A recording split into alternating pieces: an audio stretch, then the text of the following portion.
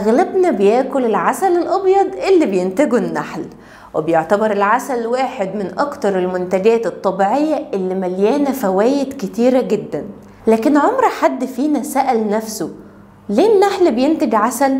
طب هو بيستفيد إيه من إنتاجه؟ وإيه اللي ممكن يحصل لو ما أنتجهوش؟ طب هل النحل بيزعل لما بناخد العسل ده؟ في البداية النحل بينتج العسل ليه هو بالظبط زي ما سمعتوا. ليه هو؟ مش لينا إحنا خالص. النحل بيعمل العسل علشان يضمن إن عنده مصدر غذائي قادر يتغذى عليه طول فترة الشتاء من غير ما يبوظ. وده لأن فترة الشتاء الملكة بتعمل بيات شتوي وأغلب النحل الشغالة بيموت. فاللي بيتفضل منهم بيعيشوا كأفراد متفرقين. فالعسل بيكون مخزون استراتيجي لأن زي ما قلنا النحل مش بيقدر يخرج في فترة الشتاء بسبب البرد. وتاني حاجة إن الزهور أو الورد اللي النحل بيتغذى عليها أصلا ما بتتفتحش في فترة الشتاء. حاجة تانية كمان أكل العسل بالنسبة للنحل بيكون مصدر للطاقة وده لأن النحل بيبرد جدا لكن هو عنده دفاية طبيعية وهي الأجنحة عن طريق إنه يرتجف. وطبعا ده مجهود صعب جدا ومحتاج طاقة كبيرة. طب الطاقة دي هيجيبها منين؟ هيجيبها من العسل اللي هو بينتجه بنفسه ولنفسه فبيقدر يحافظ عن طريق الارتجاف على درجة حرارة مناسبة داخل الخلية. طيب معنى كده هل صح إن الإنسان ياخد العسل من النحل؟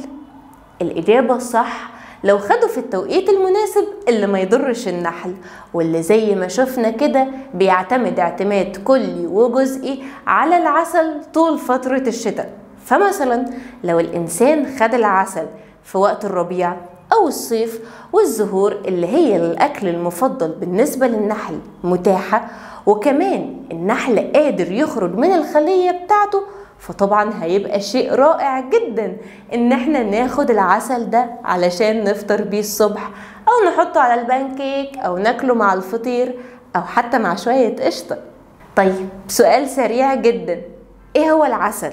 العسل هو مادة سكرية بيصنعها النحل باستخدام الرحيق اللي بيجمعه من الزهور وبيخلط النحل الرحيق ده مع مادة خاصة بيفرزها اسمها إنزيم النحل. طيب سؤال تاني. ليه في أنواع مختلفة من العسل؟ السؤال ده إجابته بتعتمد على الزهرة اللي بيتغذى عليها النحل وطبعا المكان اللي هو موجود فيه. يعني مثلا عسل المناطق الجبلية زي ما إحنا عارفين بيكون أغلى وأحلى من عسل المناطق الزراعية. أو غير كده عسل زهرة البرسيم بيكون مختلف عن عسل زهرة البرتقال. فبالتالي بنلاقي إن أنواع العسل كتير ومختلفة الجودة. آخر سؤال في حلقتنا علشان أروح آكل العسل بتاعي. هل كل أنواع النحل بتعمل عسل؟ وهل أصلا كل أنواع العسل ينفع الإنسان ياكلها؟ ببساطة في أنواع من النحل زي ال bumble bees أو النحل الطنان.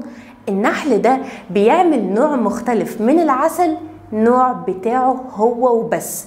وده لأن مستعمرات النحل الطنان عمرها أقل من مستعمرات النحل العسل. فهو بيعمل نوع من العسل بتاعه وبيستخدمه هو بس.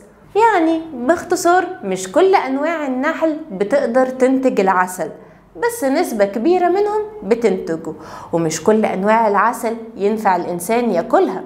في آخر الحلقة حابة أوضح معلومة صغيرة خالص إن النحل مش هو الحشرة الوحيدة اللي بتقدر تعمل العسل.